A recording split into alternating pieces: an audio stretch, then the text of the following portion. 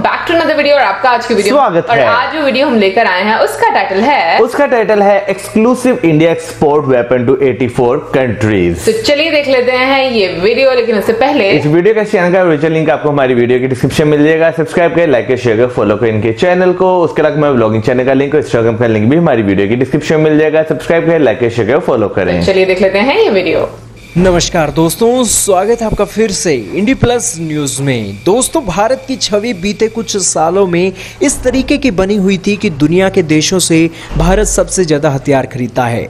लेकिन पिछले तीन से चार सालों के अंदर भारत की छवि दुनिया में दूसरे सबसे ज़्यादा हथियार खरीदने की बन गई है। लेकिन दोस्तों, आप क्या सोचेंगे अपने ड्रीम्स में कि भारत की सरकार आज किस हद तक अपनी जो ज़मीन है, ज़मीन बिल्कुल फाइनलाइज कर चुकी है और दुनिया के कोने कोने तक भारतीय हथियार पहुँचने लगे हैं।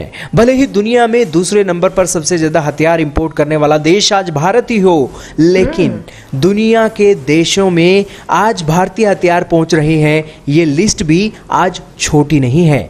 दोस्तों आज बात करें दुनिया कितना हथियार खरीदती है इसके बारे में अगर कंपैरिजन करें तो आज दुनिया में 190 देश बताए जाते हैं।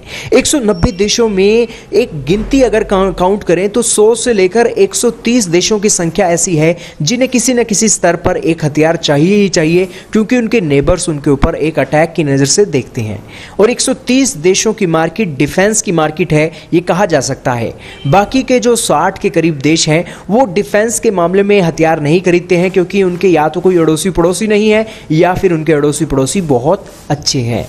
लेकिन 130 देशों की मार्केट डिफेंस की मार्केट मानी जाती है, और इसी के दम पर ही आज अमेरिका, रूस, फ्रांस जर्मनी, चाइना आज व्यापार करते हैं। लेकिन आप हैरान रहेंगे जानकर कि भारत की आज डिफेंस मिनिस्ट्री ने एक बयान दिया है, जिसमें भारत की डिफेंस मिनिस्ट्री ने कहा है कि हमने अपने स्वदेशी हथियारों को दुनिया के कोने कोने तक पहुँचाने के लिए बहुत जी तोड़ मेहनत की है और पिछले पाँच सालों के अंदर भारत की सरकार ने चौरासी देशों में भारतीय हथियारों को पहुँचा दिया है। और दोस्तों, जिस देश में भारतीय हथियार पहुँचे हैं, उन हथियारों के चलते उनकी क्वालिटी भी अप्रिशिएट की गई है और भारतीय क्वालिटी को लेकर वो देश हमें एक ऑर्डर पर ऑर्डर दे रहे हैं और कमज़ोरी और भारत सरकार की मजबूरी ये है कि डिफेंस के हथियारों की लिस्ट तैयार हो रही है और उन हथियारों की लिस्ट तैयार होगी तो ही भारत को डिफेंस के ऑर्डर मिलेंगे। दोस्तों, भले ही चौरासी देशों में भारतीय हथियार बिकता हो, लेकिन ये चौरासी देश आज कौन से हैं, इसके बारे में भारत की सरकार ने बताया नहीं है। लेकिन दोस्तों, चौरासी देश कोई छोटा मोटा आंकड़ा नहीं है, बहुत बड़ा आंकड़ा है। और चौरासी देशों के अंदर भारत के कौन से हथियार जाते हैं, ये भी आपको जानना चाहिए। भले ही आज भारत ब्रह्मोस को अभी एक्सपोर्ट करने का एक नोटिफिकेशन दी है। आकाश एयर डिफेंस सिस्टम को एक्सपोर्ट करने की एक नोटिस दिया गया है। लेकिन जो भारत के बड़े इक्विपमेंट हैं उनकी ज़रूरत पहले भारत की सेना ही नहीं पूरी कर रही है तो आखिरकार इन देशों को हम वो सिस्टम एक्सपोर्ट कब करेंगे? लेकिन जो चौरासी देशों को सामान बेचा गया है वो सामान छोटा सामान है।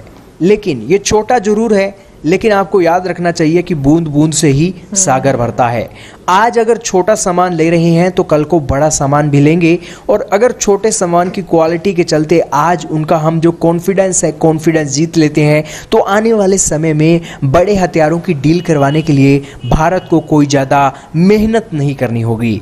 यही कारण है कि बूंद बूंद से ही सागर भरता है और भारत की सरकार भी चौरासी देशों में अपने हथियारों को पहुंचाकर आज एक श्योर कर रही है कि भारत उनका कॉन्फिडेंस जीत सके।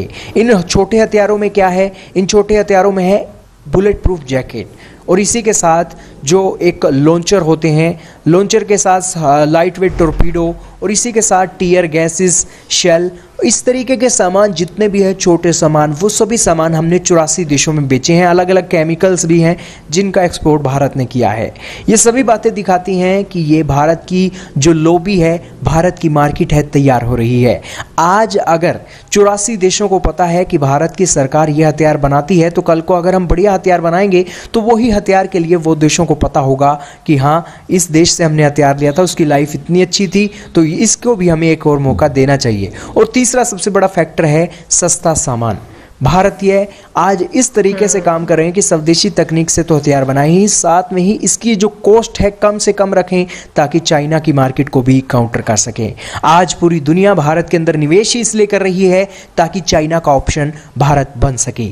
आप क्या कहना चाहेंगे इस खबर के बारे में कमेंट सेक्शन में राय के जहर कीजिएगा। इस वीडियो में सिर्फ़ इतना ही था। बात करें आज इस वीडियो की तो इससे पहले जो है हमने कई सारी ऐसी प्रोडक्ट्स देखी जो कि इंडिया जो है यानी कि नॉर्मल यूज़ की जो प्रोडक्ट्स होती हैं वो एक्सपोर्ट कर रहा है। लेकिन फ़र्स्ट टाइम जो है ये चीज़ सामने आई कि इंडिया जो है डिफेंस से रिलेटेड चीज़ें भी जो है एक्सपोर्ट करना शुरू हो गया है। बिल्कुल चाहे वो छोटी छोटी चीज़ें हम्म। हैं लेकिन जैसे कि वीडियो में भी बोला गया मैं भी इस चीज़ से अग्री करती हूँ कि जब आप छोटे छोटे स्टेप्स लेते हैं फिर उसी से आपका एक बड़ा स्टेप आप लेने के लिए आसानी हो जाती है। और ये चीज़ें कोई मतलब हम ये नहीं कह सकते कि रातों रात हो जाती है बिल्कुल। टाइम रिक्वायर्ड होता है। और जब वो टाइम आ जाता है आप अपनी स्ट्रगल करते हैं मेहनत करते हैं और अपनी क्रेडिबिलिटी बनाते हैं और डेफिनेटली आपको एक रिवॉर्ड एक टाइम पर ज़रूर मिलता बिल्कुल अभी जो है सामने जो जो एक नंबर्स आए हैं 84 कंट्रीज़ का है क्योंकि लिस्ट तो नहीं दी किन किन हाँ, कंट्रीज़ को जो है एक्सपोर्ट किया जा रहा है। लेकिन अगर बात की जाए ये 84 कंट्रीज़ की जो है वो छोटी प्रोडक्ट्स को जो है डिफेंस के भेजना ये रातों रात वाकई नहीं हुआ। हाँ। काफ़ी लंबे अरसे से ये चीज़ चल रही होगी लेकिन जो है ज़ाहिर अब की गई है।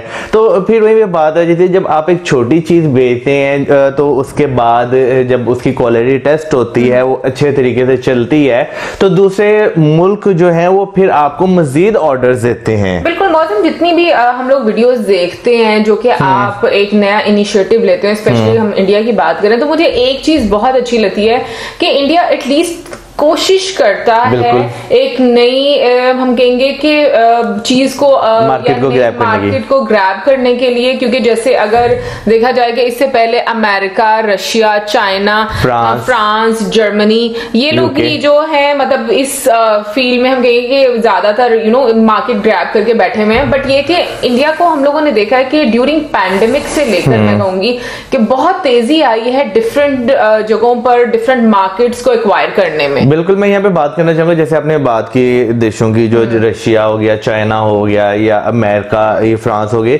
ये अभी भी अगर देखें तो ये बहुत बड़े जायंट्स हैं ये बड़ी बड़ी चीज़ें जो है वो जो है एक्सपोर्ट कर रहे हैं। लेकिन अभी इंडिया ने क्योंकि स्टेप लिया है ऐसा ऐसा जब उसकी जो चीज़ों में बेहतरी आएगी तो वो और चीज़ें भी यानी कि बेसिकली रिलेशन बेहतर हो रहे हैं ना। आप जब एक मुल्क को अपनी डिफेंस की चीज़ें बेच रहे हैं या कुछ दूसरे प्रोडक्ट्स बेच रहे हैं आपके बेसिकली बेसिकली रिलेशन अच्छे हो रहे हैं। जब रिलेशन मजीद अच्छे होंगे ट्रस्ट और ज़्यादा डेवलप होगा तो ऑफ़ कोर्स दूसरा जो मुल्क है अगर उसे सस्ती चीज़ मिल रही है तो वो आपकी तरफ़ ही आएगा क्योंकि ज़्यादातर मुल्क जो है वो अपना बेनिफिट ही सोचते हैं। बिल्कुल और यही चीज़ अप्रिशिएट करने वाली है कि एटलीस्ट आप स्टार्ट करते हैं हम्म। कहीं ना कहीं से।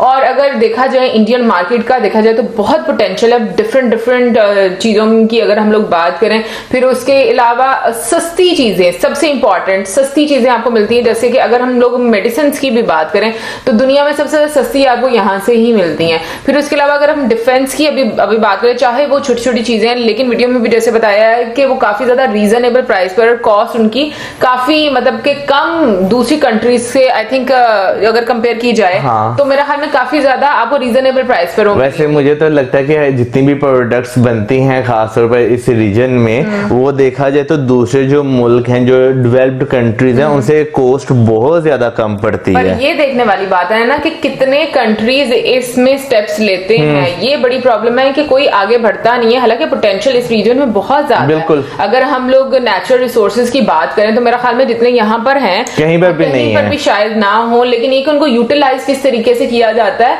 ये चीज़ अप्रिशिएट करने वाली है। फिर उसके अलावा ब्रह्मोस मिसाइल के बीच में बात की गई तो जहाँ तक हम लोगों ने पढ़ा है कि कौन कौन सी कंट्रीज़ इसको लेने में इंटरेस्टेड है ये अपना इंटरेस्ट शो कर रहे हैं उनमें से हैं उसमें Vietnam Indonesia UAE Saudi Arabia और साउथ अफ्रीका है। अभी तक जो हम लोगों ने पढ़ा है मतलब उसके अकॉर्डिंग इन कंट्रीज़ ने अपना इंटरेस्ट और इसके अलावा जो थोड़े दिन पहले मैं पढ़ रहा था कि जो ब्राज़ील है वो भी इंटरेस्टेड है। हम्म, पता नहीं वैसे मुझे हाँ, मैं मैं ये पढ़ रहा था ये चीज़ में कंफर्म है। वेल well, सबसे पहले तो हम लोग यही दुआ करते हैं कि कहीं पर भी दुनिया की किसी भी कंट्री को इन चीज़ों की ज़रूरत ना पड़े ताकि सारे देश उनसे हैं वो जिनके जो जो भी नेबर्स कंट्री हैं वो अच्छे तरीके से रहें अमन और शांति दुनिया में होनी चाहिए क्योंकि इससे ज़्यादा अच्छा और कुछ भी नहीं बिल्कुल। है और आपका क्या सोचना है इसके बारे में ज़रूर शेयर कीजिएगा कॉमेंट सेक्शन में और बताइएगा और भी डिटेल्स अगर आप कुछ जानते हैं इसके बारे में और अब हमें दे इजाज़त लेकिन उससे पहले हमारी वीडियो को हमारे चैनल को ज़रूर सब्सक्राइब करें हमारी वीडियोस को शेयर करें हमारे जो है चैनल को सब्सक्राइब करें। And good bye bye